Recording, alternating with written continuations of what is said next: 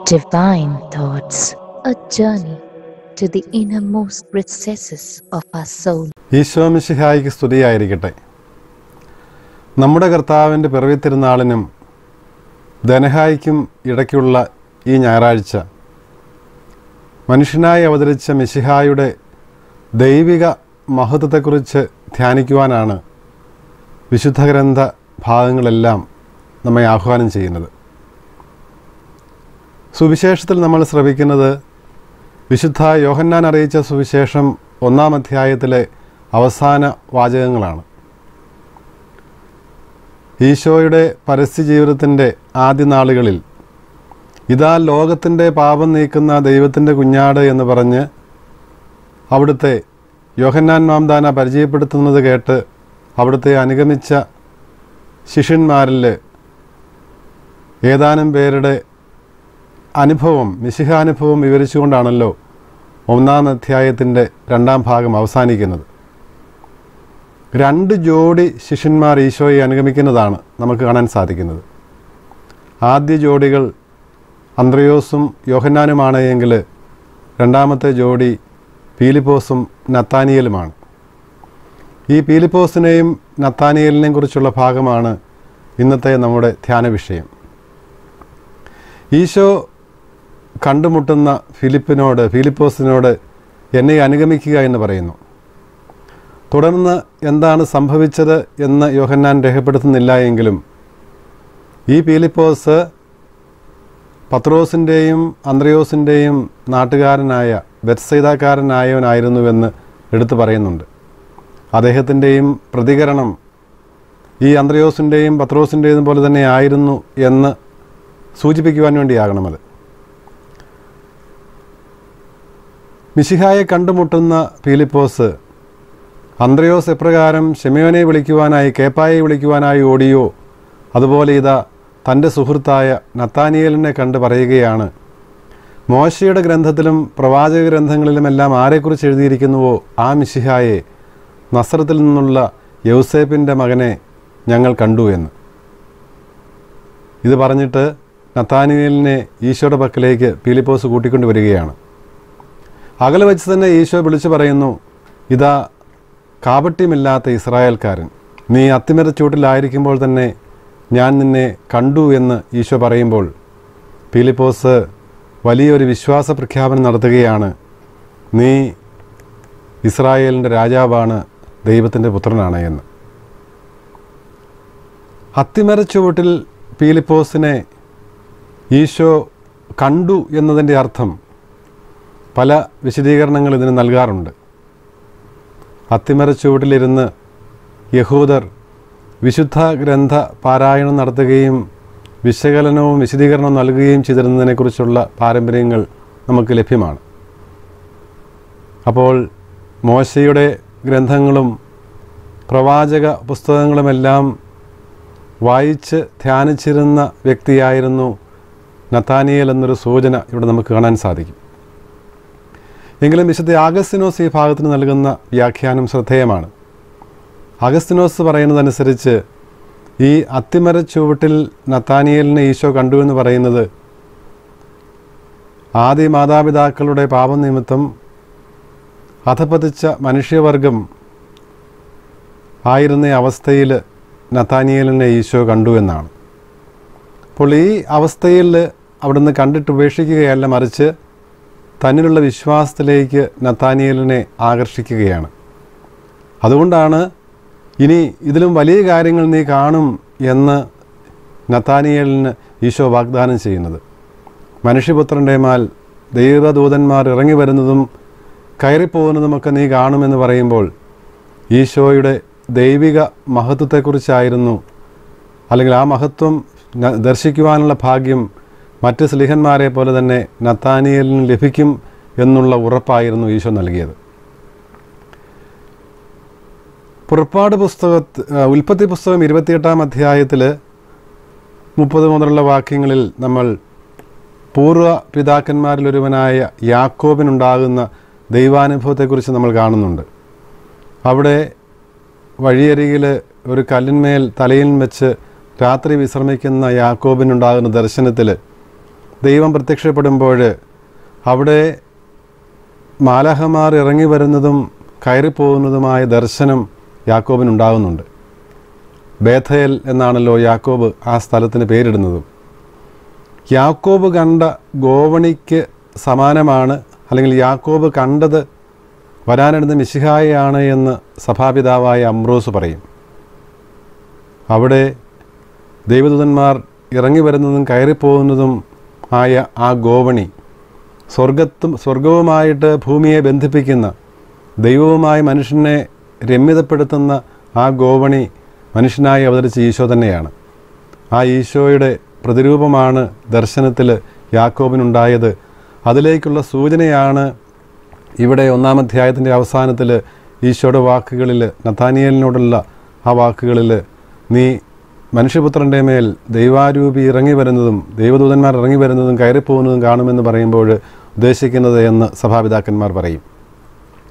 സ്വർഗം തുറന്നിരിക്കുന്നത് കാണുകയാണ് കാണുമെന്നാണല്ലോ വാഗ്ദാനം.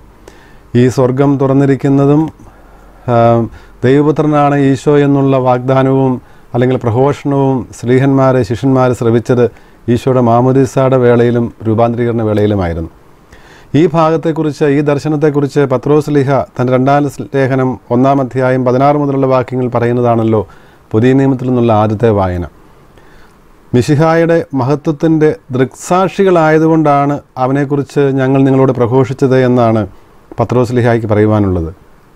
അതിപ്രൗഢമായ ദൈവിക മഹത്വത്തിൽ നിന്നുണ്ടായ ആ സ്വരം ഇവൻ എന്റെ പ്രിയപുത്രൻ ഇവനിൽ ഞാൻ സംപ്രീതൻ എന്നുള്ള ദൈവത്തിന്റെ ദൈവപിതാവിന്റെ പ്രഖ്യാപനം ശ്രവിച്ചവരാണ് ഞങ്ങളെന്ന് പത്രോസ് ലിഹ അവിടെ എടുത്തു പറയുന്നുണ്ട്. മനുഷ്യനായി അവതരിച്ച ഈശോയിൽ പ്രകാശിതമായത് ദൈവത്തിന്റെ മഹത്വമാണ് എന്നുള്ള സത്യം യോഹന്നാൻ സുവിശേഷകൻ സുവിശേഷത്തിന്റെ ആമുഖത്തിൽ വളരെ വ്യക്തമായി പറയുന്നുണ്ട്. അനാദി മുതൽ പിതാവിനോട് കൂടെയായിരുന്ന ആ വചനം മനുഷ്യരുടെ ജീവനായിരുന്ന ആ വചനം മനുഷ്യർക്ക് വെളിച്ചമായിരുന്നു എന്ന് യോഹന്നാൻ പറയുന്നുണ്ടല്ലോ. ഒന്നാം അധ്യായം ഒൻപതാം വാക്യത്തിൽ അദ്ദേഹം പറയും ലോകത്തിലേക്ക് വരുന്ന എല്ലാവരെയും പ്രകാശിപ്പിക്കുന്ന യഥാർത്ഥ വെളിച്ചമാണ് ഈശോ എന്ന്.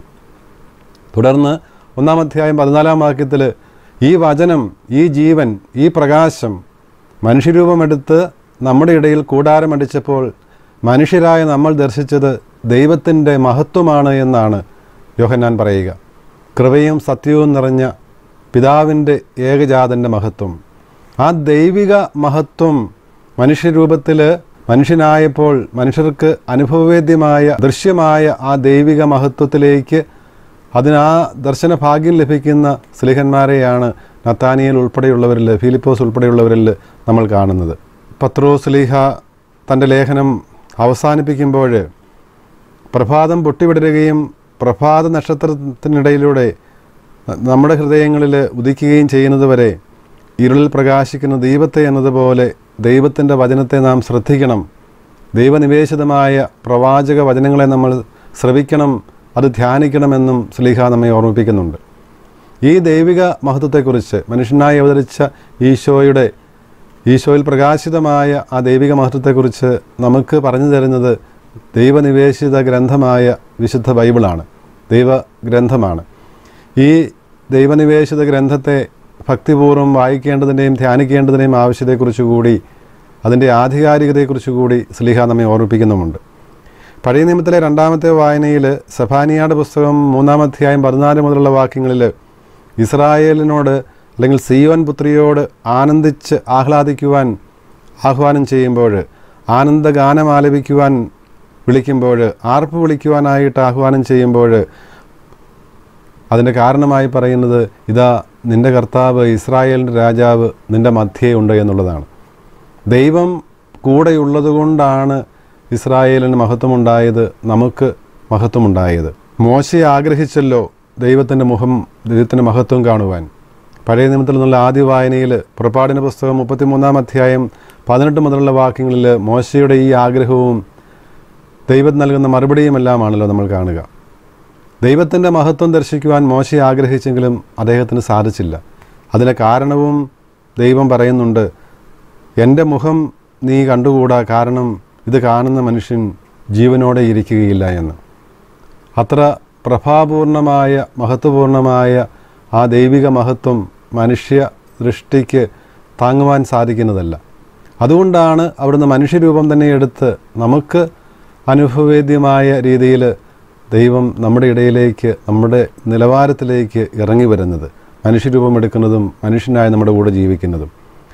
അപ്രകാരം നമ്മുടെ കൂടെ വസിക്കുവാൻ വന്ന നമുക്ക് ദൈവത്തിന്റെ മഹത്വം വെളിപ്പെടുത്തുവാൻ വെളിപ്പെടുത്തി തരുവാൻ വന്ന ആ മിശിഹായുടെ ദൈവപുത്രന്റെ വെളിപ്പെടുത്തലിന്റെ മഹത്വീകരണത്തിന്റെ തിരുനാളാണല്ലോ അടുത്ത ദിവസം നമ്മൾ ആഘോഷിക്കുവാൻ പോകുന്ന ദനഹ. അപ്പോൾ അതിനുള്ള ഒരുക്കമായിട്ടാണ് ഈ ഞായറാഴ്ചത്തെ വായനകൾ മിശിഹായുടെ ദൈവിക മഹത്വത്തെക്കുറിച്ച് നമ്മെ ഓർമ്മിപ്പിക്കുന്നത്. നഥാനിയേലിന് ലഭിക്കും എന്ന് ഈശോ മുൻകൂട്ടി പറഞ്ഞ ആ ദർശനം സ്വർഗം തുറന്നിരിക്കുന്നതും മാലഹമാർ കയറിപ്പോകുന്നതും ഇറങ്ങിപ്പോകുന്നതും മനുഷ്യപുത്രന്റെ മേൽ കയറിപ്പോകുന്നതും ഇറങ്ങിപ്പോകുന്നതും കാണുമെന്ന് പറയുന്നത് യഥാർത്ഥത്തിൽ നമ്മുടെ പരിശുദ്ധ കുർബാനയിൽ നിറവേറുന്നത് നമുക്ക് കാണുവാൻ സാധിക്കും. ഈശോയുടെ സ്ഥാനത്ത് നിന്ന് പരിശുദ്ധ കുർബാന അർപ്പിക്കുന്ന പുരോഹിതൻ മധുബഹയിലേക്ക് കയറിപ്പോകുന്നത് ദൈവജനത്തിന്റെ പ്രാർത്ഥനകൾ ദൈവസന്നിധിയിൽ ഈ ജനത്തിന്റെ പ്രതിനിധി എന്നുള്ള നിലയിൽ അർപ്പിക്കുവാൻ വേണ്ടിയിട്ടാണ്. കർത്താവിന്റെ സ്ഥാനത്ത് നിന്ന് ഏകവും നിത്യവുമായി ഈ ബലി അർപ്പിക്കുന്നതിന് വേണ്ടിയാണ്.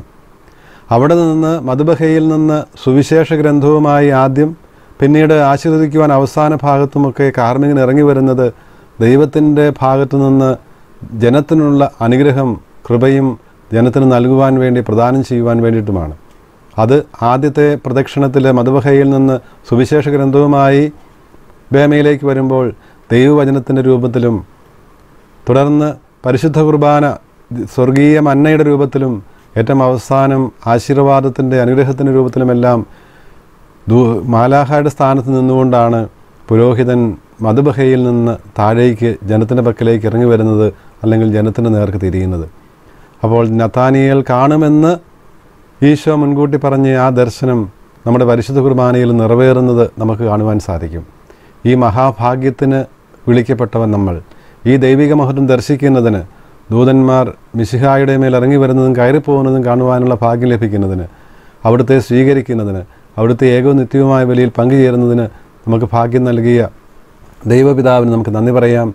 നമ്മുടെ രക്ഷകനായ പ്രകാശമായി നമ്മുടെ ഇടയിൽ ജീവിക്കുന്ന മിശിഹായിൽ നമ്മൾ വിശ്വാസം നമുക്ക് ഏറ്റുപറയാം. അവിടുത്തോട് ചേർന്ന് ആ പ്രകാശത്തിന്റെ വക്താക്കളായിട്ട് പ്രകാശം പ്രകാശിപ്പിക്കുന്നവരായിട്ട് ജീവിക്കുവാൻ വേണ്ട അനുഗ്രഹത്തിനായിട്ട് പ്രാർത്ഥിക്കുകയും ചെയ്യാം. ദൈവം നമ്മെ അനുഗ്രഹിക്കട്ടെ.